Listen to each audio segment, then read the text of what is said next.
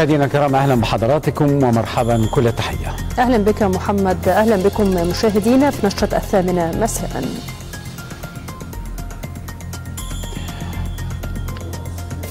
خلال احتفالية تشغيل أولى رحلات خط الرورو المصري الإيطالي مدبول يشهد فعاليات رفع العلم المصري على السفينة وادي العريش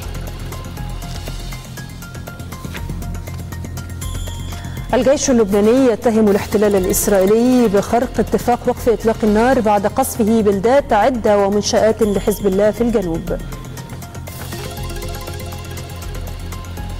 وأكثر من 30 شهيدا وعشرات الجرحى في غارات إسرائيلية على قطاع غزة وحصيلة الضحايا تتجاوز 44330 شهيدا و104 ألاف مصابا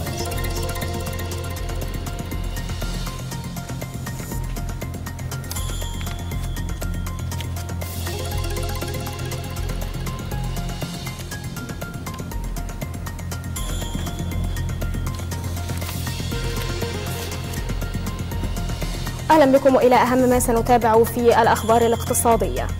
وزير الصناعة يعلن عن طرح 2612 قطعة أرض صناعية في 24 محافظة عبر منصة مصر الصناعية الرقمية.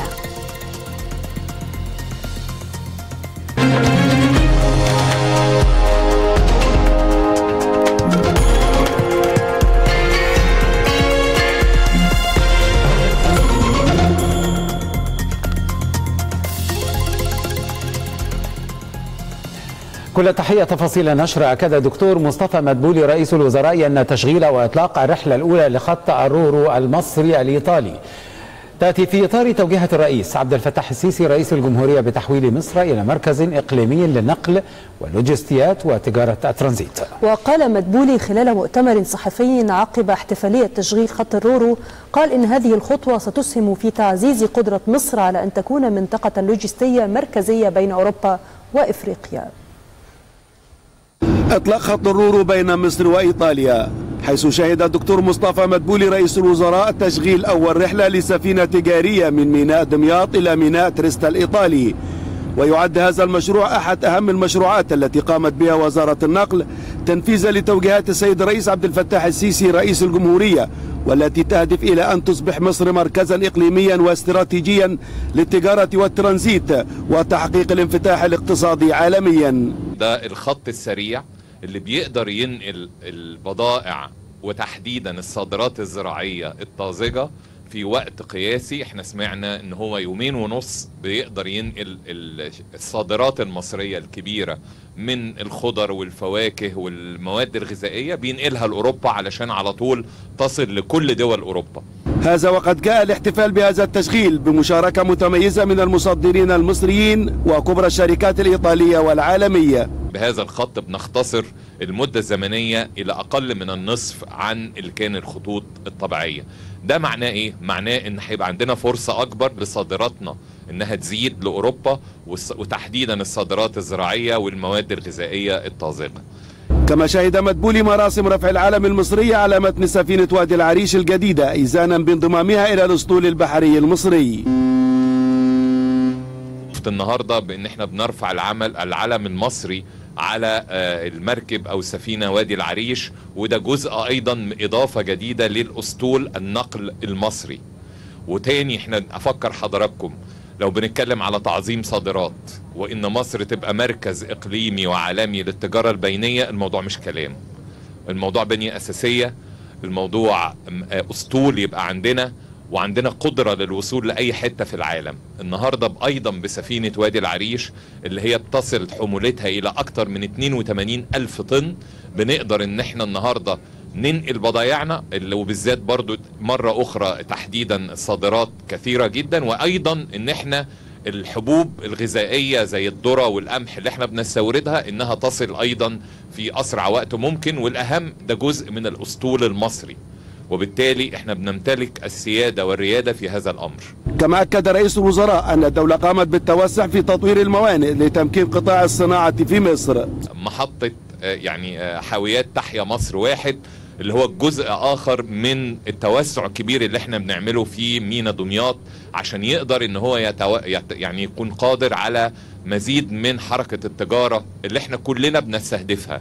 لما كلمت حضراتكم من أيام قليلة إن إحنا قادرين بإذن الله إن إحنا نصل بصادراتنا إلى أكتر من 140 مليار دولار ما هو الكلام ده عشان يحصل محتاجين بنية أساسية تبقى موجودة. كما أكد مدبولي أن الوضع الاقتصادي في مصر يسير على الطريق الصحيح في كافة القطاعات.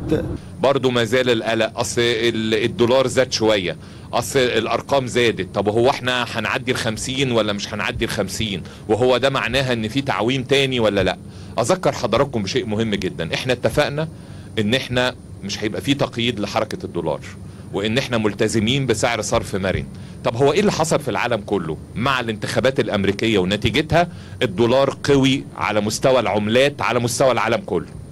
الدولار قوي قدام اليورو وقدام الجنيه الاسترليني وقدام كل العملات. فطبيعي جدا الجنيه المصري جزء من منظومة عالمية موجودة. فطبيعي هيحصل هذه النوعية من الحركة. وتاني بقولها لحضراتكم ما نتخضش إن يبقى في زيادات وبعديها بيص... بي ممكن بنلاقيه بيرجع تاني. خلاص إحنا بنتحرك في إطار سوق حر وعرض وطلب والحمد لله أهم شيء إن إحنا مفيش حاجة متأخرة.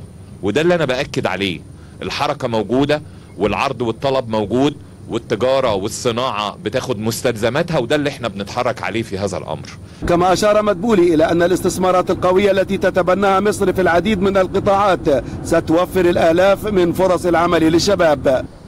التطور الكبير الذي يشهده قطاع النقل في مصر بفضل توجيهات السيد الرئيس عبد الفتاح السيسي رئيس الجمهورية.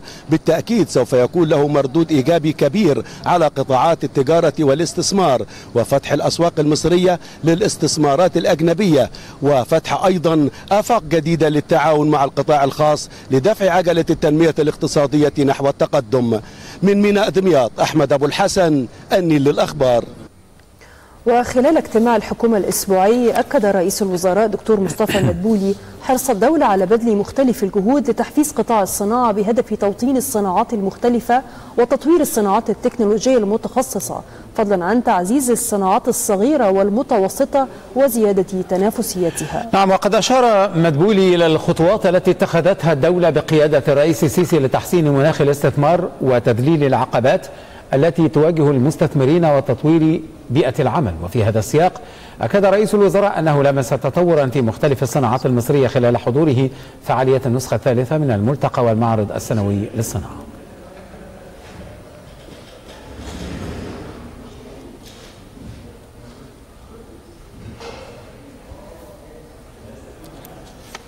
أكد بدر عبد العاطي وزير الخارجية أن مصر تؤيد كل خطوة من شأنها الحفاظ على استقرار مؤسسة الدولة اللبنانية. جاء ذلك خلال الاتصالات الهاتفية التي أجراها وزير الخارجية اليوم مع عدد من رؤساء الأحزاب والتيارات اللبنانية والتي شملت كل من سمير جعجع رئيس حزب القوات وسامي الجميل رئيس حزب الكتائب وسليمان فرنجية رئيس تيار المردة وجبران باسيل رئيس التيار الوطني الحر. وقد أعرب الوزير عن تطلع مصر إلى أن يشكل اتفاق وقف إطلاق النار خطوة للأمام وأساس يمكن البناء عليه لمرحلة جديدة في لبنان الشقيق. وتمكين أيضا دور المؤسسات الوطنية وعلى رأسها الجيش اللبناني بهدف تحقيق الأمن والاستقرار والحفاظ على سيادة لبنان ووحدة أراضيها. من جانبهم أعرب رؤساء الأحزاب والتيارات اللبنانية عن تقديرهم العميق لمساندة مصر للبنان على المستويين السياسي والإنساني ووقوف مصر بجوار لبنان في هذا الظرف الدقيق.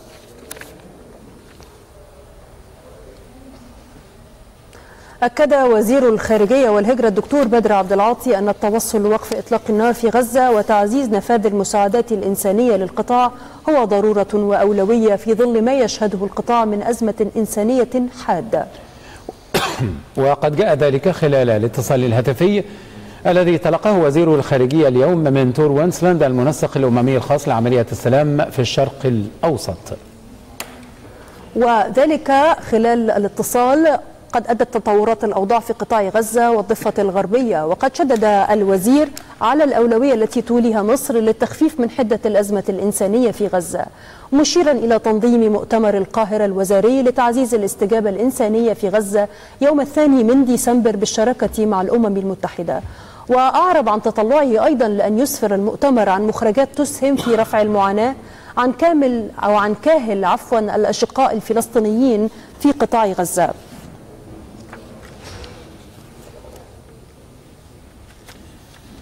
أكد وزير الخارجية والهجرة بدر عبد العاطي كذلك على أن القارة الإفريقية تواجه تحديات غير مسبوقة تقوض من قدرتها على تحقيق الأهداف والطموحات التي حددتها أجندة 2063 جاء ذلك خلال مشاركة عبد العاطي في الاجتماع الوزاري لمجلس السلم والأمن الإفريقي حيث تطرق إلى التعامل مع التحديات الأمنية في القارة وتبني استراتيجيات أكثر إيجابية لتعزيز المؤسسات الوطنية ودعم الدول الإفريقية.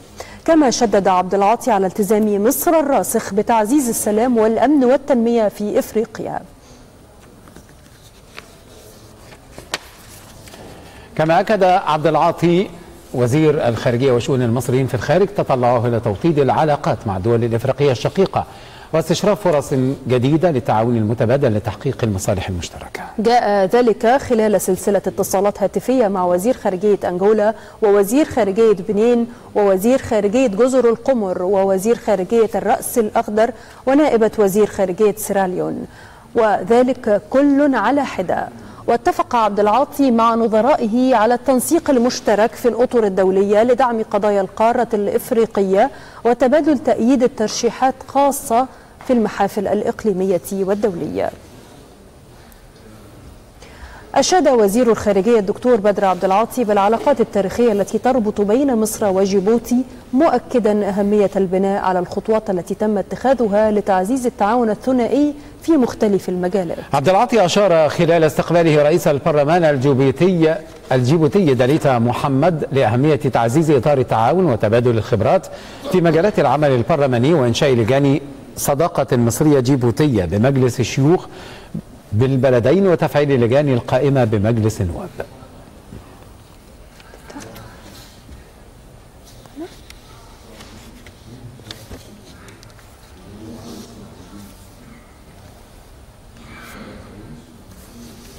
أكد رئيس مجلس النواب المستشار الدكتور حنفي جبالي على تطلع لدفع العلاقات التاريخية والراسخة التي تربط بين مصر وجيبوتي إلى أفاق أرحب خاصة على الصعيد البرلماني. وقد جاء ذلك خلال استقبال رئيس مجلس النواب بمقر المجلس بالعاصمة الإدارية دليتا محمد رئيس الجمعية الوطنية بجيبوتي والوفد المرافق له وشدد جبالي على أهمية الشراكة بين مصر وجيبوتي في مجال مكافحة الفكر المتطرف لافتا لأهمية تعزيز وتنسيق التعاون الثنائي والإقليمي لتحقيق المصالح المشتركة وصون الأمن والاستقرار خاصة ما يتعلق بالأوضاع في منطقة القرن الإفريقي والبحر الأحمر انطلاقا من ضرورة التوافق على ضرورة احترام سيادة الدول ووحدتها الإقليمية وضمان حرية الملاحة الدولية.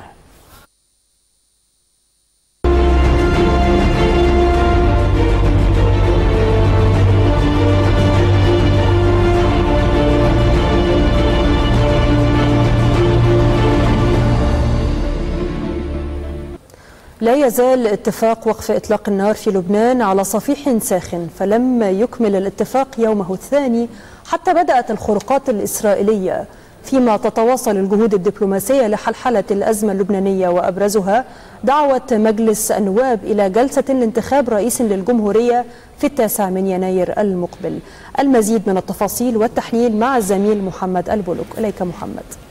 شكرا شاهيناز واهلا بكم مشاهدينا وهذا الملف الذي نتحدث فيه عن ما يدور في لبنان والاتفاقية التي تم الإعلان عنها بين إسرائيل وحزب الله. حيث أعلن الجيش اللبناني أن قوات الاحتلال الإسرائيلية انتهكت وقف إطلاق النار عدة مرات منذ بدء الاتفاق وأفاد الجيش اللبناني أن هذه الخروقات تمثلت في عمليات جويه بالإضافة إلى استهداف الأراضي اللبنانية بأسلحة متنوعة. وأشار التلفزيون اللبناني إلى أن قيادة الجيش تتابع هذه الخروقات بالتنسيق مع المراجع المختصة ويأتي ذلك تزامنا مع نشر الجيش اللبناني قواته ودباباته في جنوب البلاد في إطار اتفاق وقف إطلاق النار بين إسرائيل وحزب الله. وكانت الدبابات الإسرائيلية قد قصفت ست مناطق في جنوب لبنان كما أعلن جيش الاحتلال أنه قصف منشأة لحزب الله في جنوب لبنان مؤكدا تواصل انتشاره في المناطق غداة بدء سريان اتفاق وقف إطلاق النار. كما جدد الاحتلال تحذيره لسكان الجنوب من التنقل أو الانتقال جنوب نهر الليطاني من الخامسة مساء وحتى السابعة صباحا.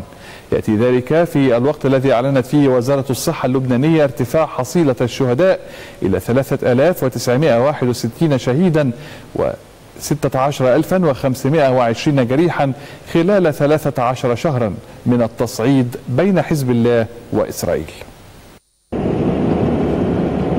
رغم وقف إطلاق النار في لبنان أفادت مصادر أمنية ووسائل إعلام رسمية إن نيران دبابات إسرائيلية أصابت ثلاث بلدات على الحدود الجنوبية الشرقية للبنان مع إسرائيل بعد يوم من سريان وقف إطلاق النار الذي يحظر العمليات العسكرية الهجومية. نيران الدبابات أصابت بلدات مركبة والوزاني وكفر شوبة وجميعها يقع على بعد كيلومترين من الخط الأزرق الذي يرسم الحدود بين لبنان وإسرائيل ما أسفر عن إصابة شخصين في بلدة مركبة. في غضون ذلك تعرضت بلدة عيت الشعب ومدينة بنت جبيل لقصف مدفعي معاد كما حلق الطيران الاستطلاعي الإسرائيلي فوق قرى قضاء وصور وبنت جبيل. من جانبه اعترف جيش الاحتلال الإسرائيلي بأن مسيرة تابعة له استهدفت مركبة لبنانية لكنه قال إن استهدافها لم يكن بهدف القتل وإنما بهدف إبعادها عن المنطقة المحظورة. بينما أكد أنه رصد وصول مشتبه بهم بعضهم بسيارات إلى عدة مناطق في جنوب لبنان وهو ما يشكل انتهاكا.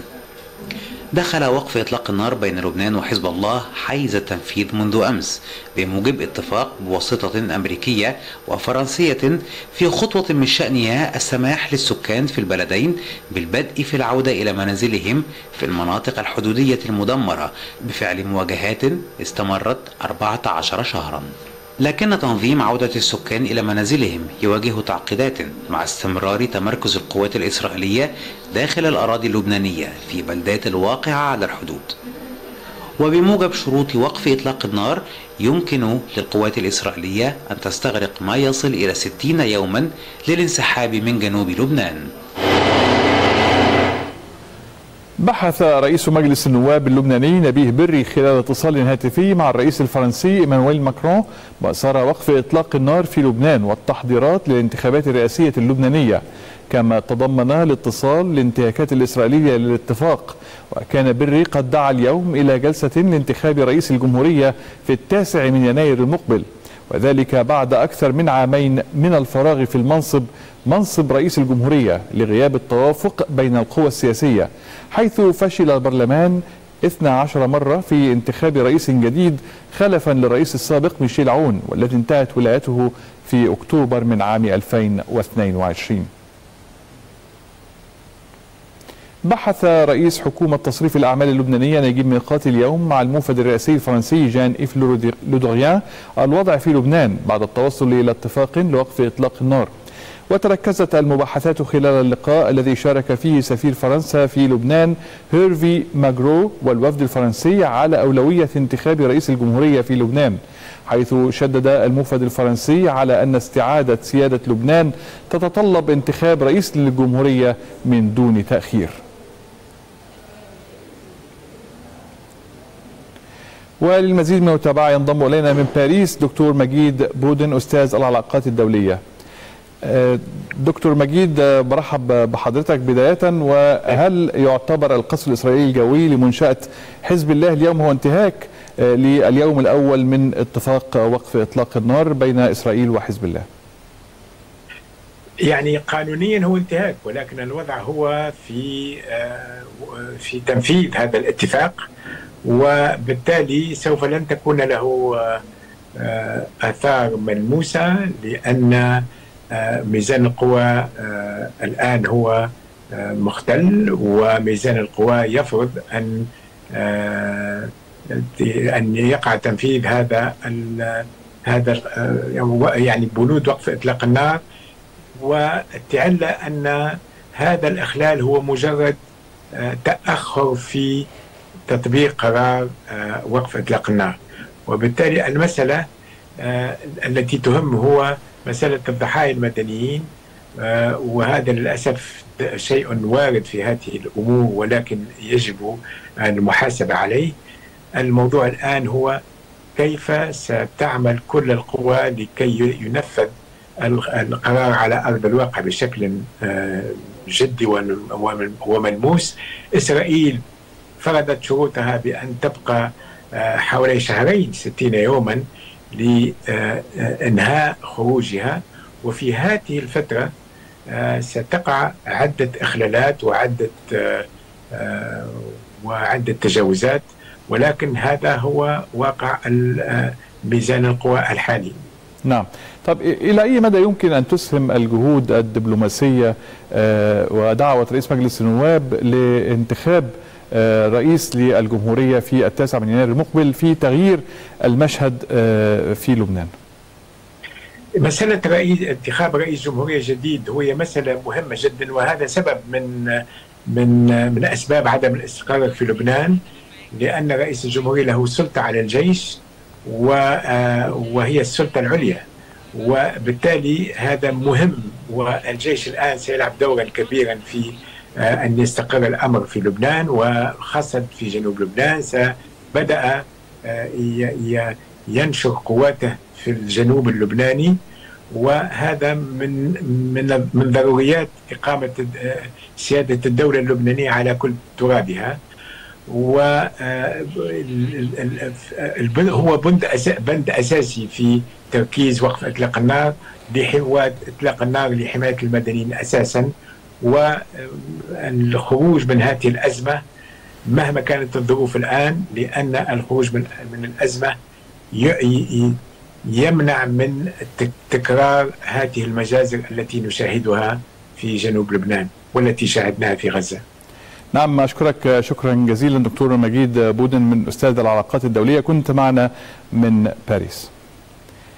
إذا مشاهدينا هذا هو كل ما لدينا وعودة إلى الزملاء. محمد ترك وشاهناز جويش إليك شاهناز شكرا لك الزميل محمد. فاصل قصير. مشاهدينا ونعود مع حضراتكم لاستكمال نشرة الثامنة. فابقوا معنا.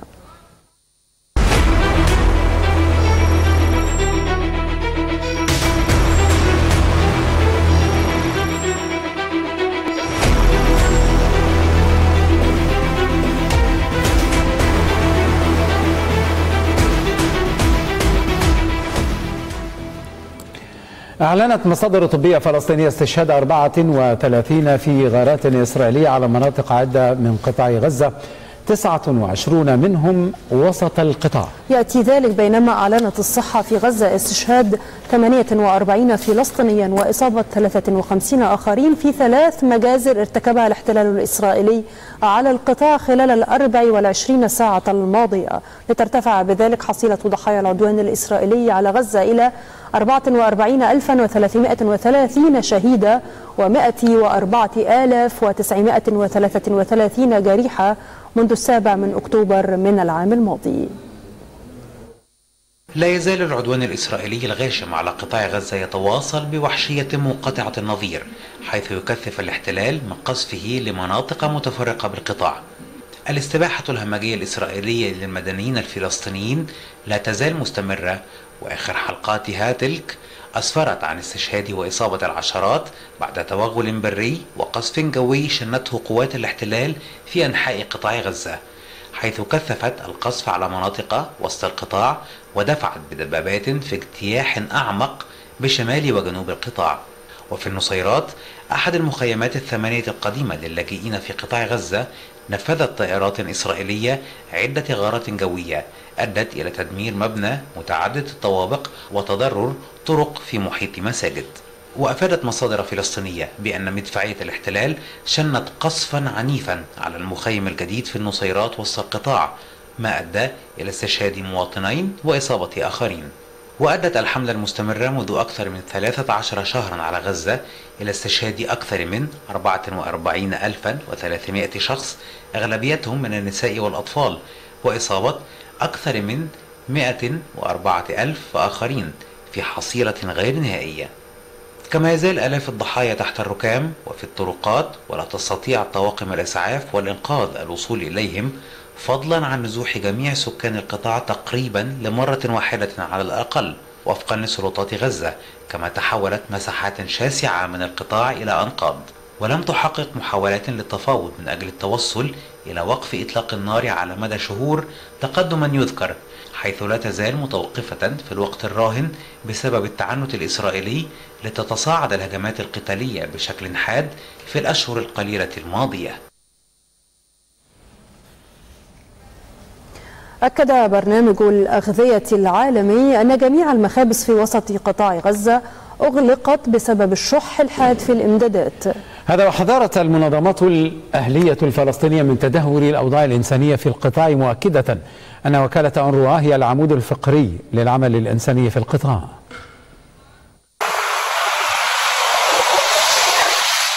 لم تقتصر المأساة الإنسانية في قطاع غزة على خيام منعدمة التدفئة. ووجود نقص حاد في الضروريات الشتوية مثل الملابس الدافئة والبطانيات. بل باتت أمطار الشتاء في القطاع تهدد بطوفان من مياه الصرف الصحي على مئات الآلاف من النازحين. أكثر من مليون شخص يعيشون في خيام بمنطقة المواصي الساحلية الرملية في جنوب قطاع غزة حيث أكبر الافتقار إلى نظام الصرف الصحي العديد منهم على استخدام حفر في الأرض كمراحيض. سكان غزة المنهكون الذين أضعفهم الجوع والبرد والقيود الإسرائيلية على المساعدات أدت إلى إتلاف ممتلكاتهم الهزيلة مثل المراتب والتسبب في الأمراض. وفي شمال قطاع غزة يضطر عدد كبير من السكان للبحث في القمامة وسط الأنقاض علهم يعثرون على مستلزمات ضرورية للبقاء. وكالة الأنروا والتي تمثل شريان حياة للفلسطينيين حذرت من تفاقم الوضع الإنساني في القطاع وأكدت أن 91% من سكان قطاع غزة يواجهون مستويات عالية من انعدام الأمن الغذائي. مشيرة إلى أن إمدادات الغذاء بغزة لا تلبي 6% من حاجة السكان خاصة في ظل إغلاق معظم المخابز جنوب قطاع غزة. وفي قطاع غزة يقتطع الناس على أعلاف الماشية وأوراق الصبار للبقاء على قيد الحياة بعدما حرمهم العجز الدولي من حقهم المشروع في الحياة. ومع مواصلة إسرائيل الجرائم ضد الإنسانية وحرب الإبادة دعا جوزيف بوريل مسؤول السياسة الخارجية المنتهية ولايته بالاتحاد الأوروبي. جميع الدول الأعضاء في التكتل إلى احترام قرارات المحكمة الجنائية الدولية. بما في ذلك مذكرة الاعتقال الصادرة ضد بنيامين نتنياهو بعد استئناف دولة الاحتلال لقرار المحكمة في محاولة للفكاك منه. نفذت قوات الاحتلال سلسلة اقتحامات متزامنة لعدد من القرى والبلدات بالضفة الغربية. وقالت مصادر فلسطينية إن قوة خاصة من جيش الاحتلال اقتحمت مخيم نور شمس في طول كارم حيث وقعت اشتباكات مع مقاومين فلسطينيين. من جانبها قالت سرايا القدس إن مقاتليها أطلقوا النار تجاه القوى الإسرائيلية التي تسللت إلى منطقة محور الدمج بالمخيم كما فجرت عبوة ناسفة بقوة أخرى بمنطقة جبل النصر محققة إصابات مؤكدة.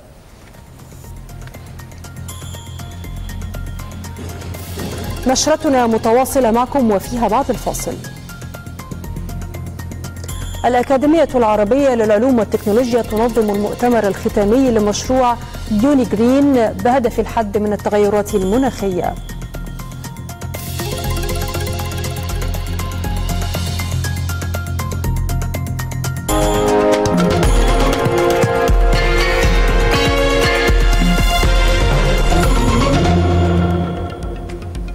إذا جاء وقت الاقتصادي في هذه النشرة. الآن مع الزميلة سارة سليم. تفضلي سارة. شكرا لكم. أهلا بكم. أعلن وزير الصناعة كامل الوزير إطلاق المرحلة الثامنة لطرح الأراضي الصناعية من خلال منصة مصر الصناعية الرقمية في الأول من شهر ديسمبر القادم على أن يتم غلق باب التقدم في الثامن من شهر ديسمبر المقبل. وتضم المرحلة الثامنة 2612 قطعة جديدة موزعة على 37 منطقة صناعية في 24 محافظة على مستوى الجمهورية. يأتي هذا الطرح في إطار استراتيجية وزارة الصناعة لتسريع وتيرة الإنتاج وتعميق التصنيع المحلي وزيادة الصادرات وتلبية احتياجات الاستثمار الصناعي من الأراضي لتشجيع الاستثمار الصناعي المحلي والأجنبي. تفقد وزير البترول كريم بدوي يرافقه وزير العمل محمد جبران حقول بترول بلاعين في مدينة أبو رديس بجنوب سيناء. وأوضح وزير البترول أن زيارته التفقدية لحقول سيناء تأتي لمتابعة جهود فرق عمل الحقول في تنفيذ خطط وبرامج التنمية والإنتاج وحفر الآبار وتطبيق معايير الحفاظ على السلامة والبيئة وذلك وفقا لاستراتيجية عمل الوزارة الجاري تنفيذها. أعلنت الهيئة العامة للمنطقة الاقتصادية لقناة السويس عن وضع حجر أساس مشروع شركة CNG Egypt New Energy Glass الصينية التابعة لشركة الصين القابضة للزجاج بالمنطقة الصناعية بالسخنة. وذكرت المنطقة الاقتصادية أن المشروع يهدف لإنشاء خط إنتاج للزجاج المسطح بطاقة يومية 1000 طن وخط إنتاج للزجاج الكهروضوئي بطاقة يومية 800 طن بإجمالي استثمارات تبلغ 300 مليون دولار وبما يوفر 1000 فرصة عمل عقب انتهاء المشروع. أجرى وزير الاستثمار حسن الخطيب لقاءات مكثفة مع مع عدد من كبار المسؤولين بالحكومة الألمانية وكذا تجمعات رجال الأعمال وممثلي الشركات حيث ألتقى الوزير مع روبرت هايبك نائب المستشار الألماني ووزير الاقتصاد حيث استعرض اللقاء سبل تعزيز العلاقات الاقتصادية المشتركة بين البلدين. كما استعرض الوزير خلال اللقاء الإجراءات الإصلاحية التي اتخذتها الحكومة الحكومة المصرية والتي تهدف إلى تسهيل الإجراءات الخاصة بتحسين بيئة الأعمال في مصر ودعم وتشجيع الاستثمارات الأجنبية بالسوق المصرية أكد وكيل وزارة التموين بالقاهرة أن افتتاح سوق اليوم الواحد في منطقة إمبابة غدا الجمعة يمثل خطوة جيدة على على طريق الأسواق التي يتم تنظيمها في عدة محافظات لإحداث التوازن في الأسعار التي زادت خلال الفترة الماضية. وقال وكيل وزارة التموين إن كل سوق يضم قوافل تزيد عن 50 سيارة محملة بكافة السلع الأساسية والاستراتيجية بأسعار مخفضة عن مثيلتها في الأسواق بنسبة 30% لافتا إلى أن الكميات المعروضة كبيرة وتفي وتزيد عن احتياجات المواطنين. سجلت مؤشرات البورصة البورصة ارتفاعات جماعية لدى إغلاق تعاملات اليوم الخميس ختام تعاملات الأسبوع مدعومة بعمليات شراء من قبل المؤسسات الأجنبية والعربية. وربح رأس المال السوقي لأسهم الشركات المقيدة بالبورصة نحو 13 13 مليار جنيه ليبلغ مستوى تريليونين و2012 مليار جنيه. وبلغت تعاملات سوق الأسهم نحو 2.2 مليار جنيه. وارتفع المؤشر الرئيسي للبورصة المصرية EGX 30 بنسبة 1.33 من 100% كما زاد مؤشر الأسهم الصغيرة والمتوسطة EGX 70 بنسبة 34 من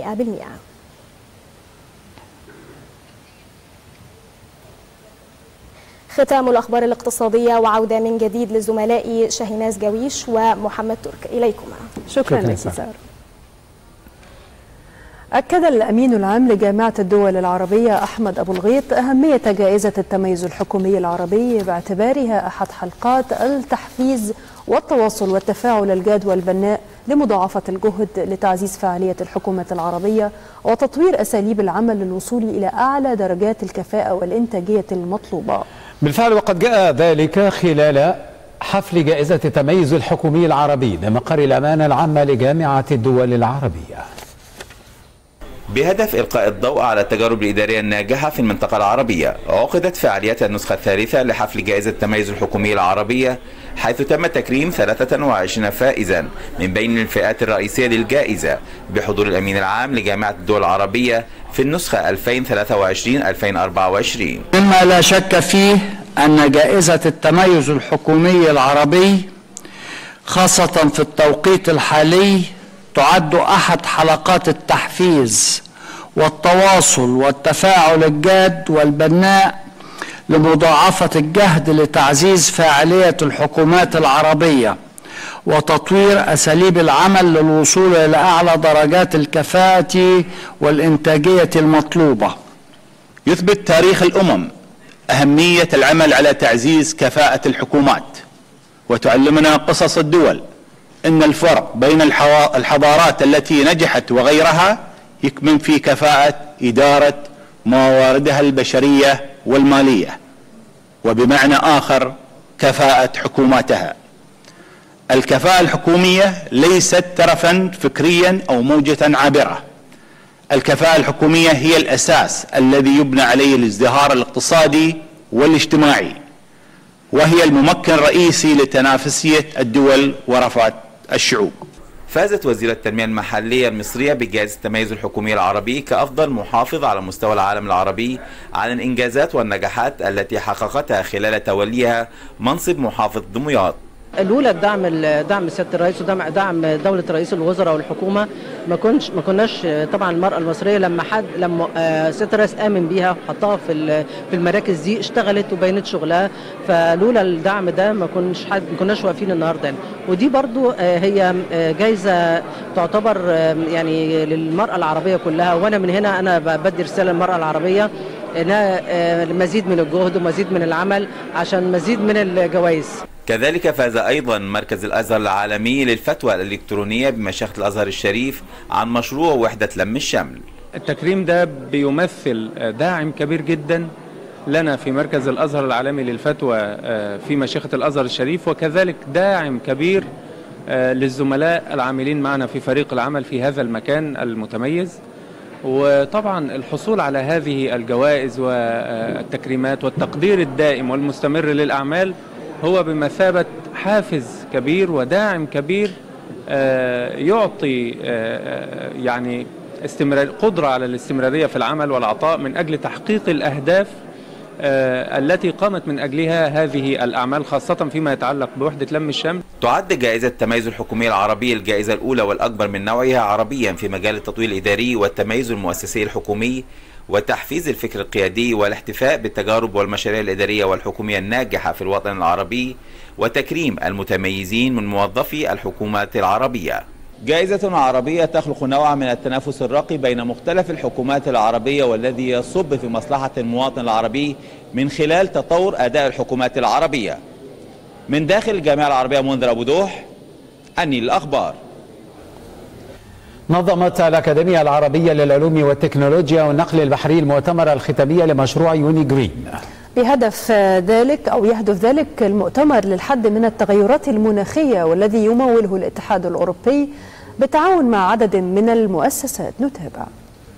تحت رعاية الأكاديمية العربية للعلوم والتكنولوجيا والنقل البحري شهدت جلسات المؤتمر الختامي لمشروع يوني جرين عرضا للنتائج الختامية والذي يأتي بالتعاون مع إحدى منظمات المجتمع المدني وعشر جامعات مصرية وبتمويل من الاتحاد الأوروبي ويهدف المشروع للحد من آثار التغيرات المناخية. موضوع التغيرات المناخية هو موضوع الساعة على مستوى العالم وإحنا طبعا مش بمعزل عن العالم وبالتالي إحنا بنحاول إن إحنا نعمل نشر وعي عن التغيرات المناخية في الجامعات المصرية. معانا 10 جامعات مشاركين في هذا المشروع. الهدف إن إحنا نشوف التأثيرات المختلفة للتغيرات المناخية على كل القطاعات. فالزملاء قدموا مثلا حلول مبتكرة لمجابهة التغيرات المناخية والتعامل معها في مجال الزراعة، في مجال التصحر، في مجال المياه، في مجال الطاقة الجديدة والمتجددة، في مجال تربية الحيوانات والثروة الداجنة والمواشي وهكذا.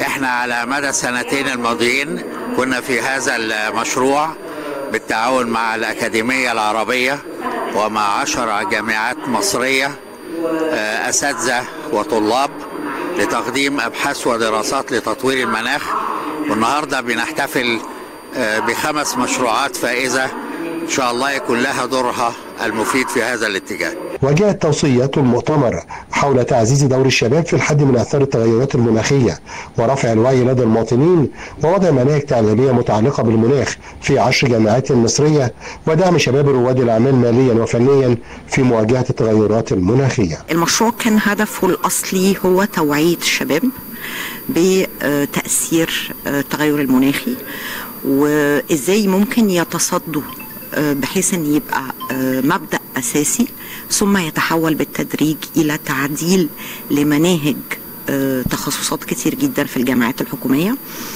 إحنا عملنا ورش عمل وأنشطة طلابية مع العشر جامعات اللي حضرتك شايفهم اساتذه أعضاء التدريس معاونين طلاب مخرجات أنشطة و ورش عمل المؤتمر كله الحقيقة كانت أكثر من رائعة. وخلال جلسات المؤتمر الذي استمرت فعاليته على مدار يومين تم استعراض حصاد أكثر من عامين في مجال الحد من التغيرات المناخية ووضع حلول عملية لمواجهة تلك التغيرات بالتعاون مع الجامعات المصرية العشر وإحدى مؤسسات المجتمع المدني والاتحاد الأوروبي الممول للمشروع. عدد من التوصيات الهامة التي أكد عليها المؤتمر في ختام أعماله. أهمها رفع الوعي لدى الشباب وتعزيز دور الشباب في ريادة الأعمال والتأكيد على إيجاد حلول علمية وعملية للحد من التغيرات المناخية في كافة القطاعات. من داخل أعمال المؤتمر عبد الحميد صقر النيل الأخبار.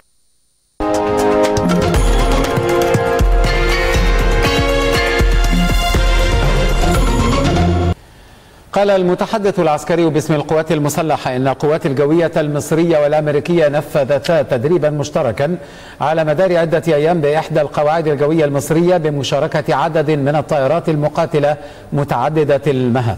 وتضمن التدريب عقد مجموعة من المحاضرات لتوحيد المفاهيم القتالية وتبادل الخبرات التدريبية. يأتي ذلك في دعم وتعزيز علاقات التعاون العسكري بين القوات المسلحة المصرية والأمريكية. نتابع.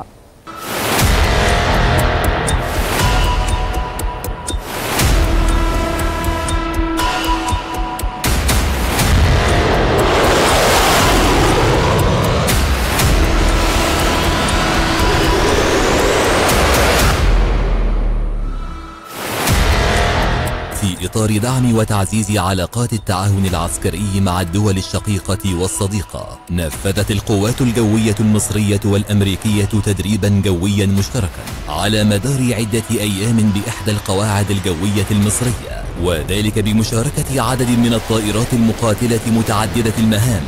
وتضمن التدريب عقد مجموعة من المحاضرات لتوحيد المفاهيم القتالية وتبادل الخبرات التدريبية بالإضافة إلى تنفيذ عدد من الطلعات للتدريب على مهاجمة الأهداف المعادية والدفاع عن الأهداف الحيوية.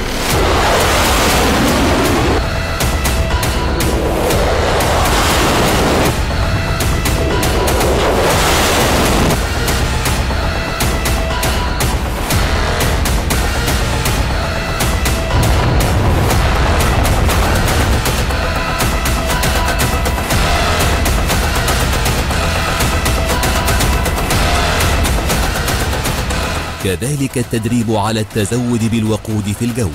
وأظهر التدريب مدى ما وصل إليه مقاتلو القوات الجوية من مستوى احترافي عال يؤهلهم لتنفيذ كافة المهام التي توكل إليهم تحت مختلف الظروف. يأتي التدريب في ضوء علاقات التعاون العسكري بين القوات المسلحة المصرية والأمريكية. مشاهدينا وصلنا إلى ختام النشرة وهذا تذكير بأهم العناوين.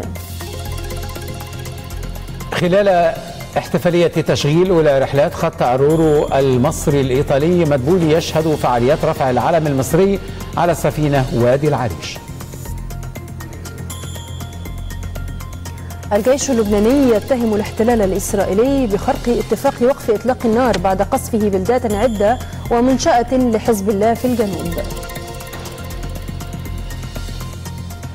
وأكثر من 30 شهيدا وعشرات الجرحى في غارات إسرائيلية على قطاع غزة وحصيلة الضحايا تتجاوز 44 ألف شهيد والمصابون. يتجاوزون 104900